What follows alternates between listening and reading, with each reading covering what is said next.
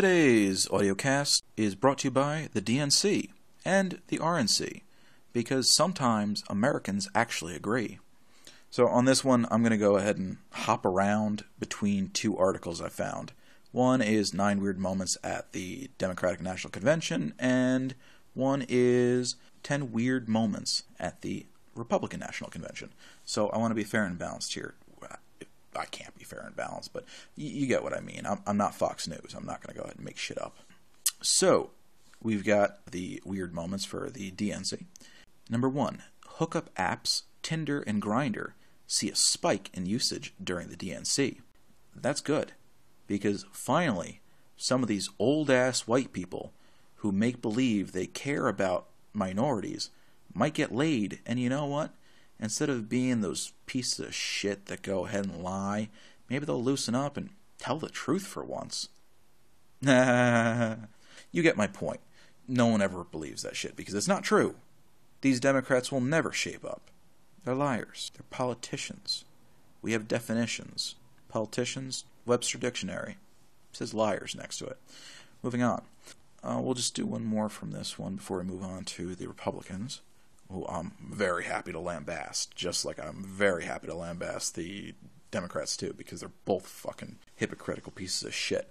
Okay, number three. Because I'm skipping number two because I don't give a fuck about actors. The former Michigan governor who gave the wackiest speech at the DNC. Really?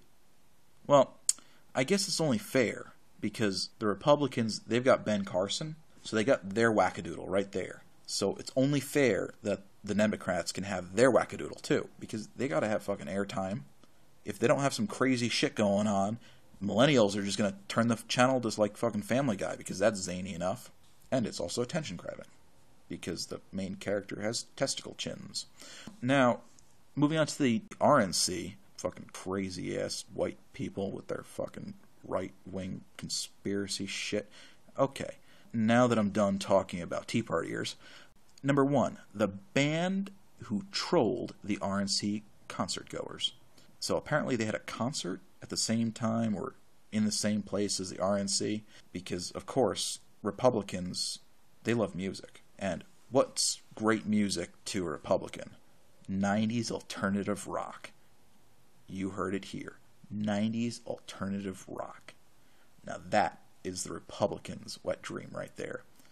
It's not bluegrass, hillbilly music with the battling banjos going on in the background like you think of most Republicans.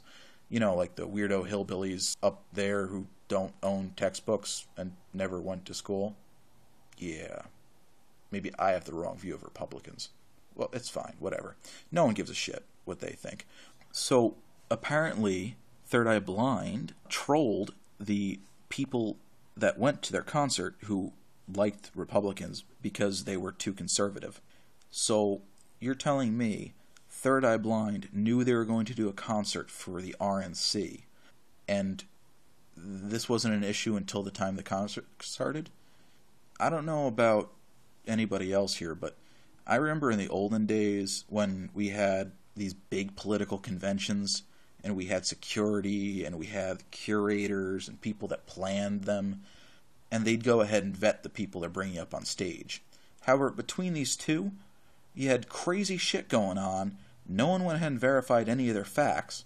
They didn't go ahead and even look into the band they hired to do the intro for a concert for the RNC and to see what their political leanings was. You didn't think that was a good idea? Before you bring them into a giant right wing nut job case with a bunch of people with guns? Really? Not a good idea. That's not a good idea on anyone's part for that one. Now, this one is number two the convention speaker who claimed Hillary Clinton was influenced by Lucifer. Of course, we're talking about the Republican madman turned madman, Ben Carson, who's completely insane. However, as much as we can always say negative things about Ben Carson, America needs its Ben Carsons. We need them. Because if it wasn't for Ben Carson, people would continue going around and saying, this stuff is hard to do, but it's not brain surgery. Now we can go ahead and say to all of these incompetent people in the world, it's not that easy. You don't understand. it, it's it's not brain surgery. It's not that easy. I love paradigm shifts in America. Ben Carson's? Who the fuck put this person on stage and let him open his mouth? He's insane. Oh my goodness. And Trump? You had Ben Carson's, an insane sociopath that believes God is talking to him. And you know, America, that's a great thing. It's great that he got that far because, like the last person that believed God was talking to him, we didn't throw him into a mental institution. We called him President Bush because God speaks to him. Apparently, God tells him we need to wage war in other countries that have nothing to do with us. That's what we need. We need more evangelical, crazy people running this country because that's what we need more war, more destruction. I see crazy people on TV saying, let's kill all these people, let's deport them, let's make them build walls, let's go ahead and not let them take our jobs because we want our children to go out in those fields and pick the berries because, of course, it's a great job for a five year old in America. No, we want immigrants to do that shit. You fucking crazy ass sociopaths. You're insane. Really? My God. God is talking to me right now. And He's saying, Your brain's to break if you continue to expose yourself to stupid. God tells you right now to turn it off, to put it down, to just step away from the computer. You don't need to put yourself through this stress. These people are crazy, and they're the ones we're going to elect to be president. Like, comment, subscribe, enjoy it. I enjoyed saying it. So I'll see you next time.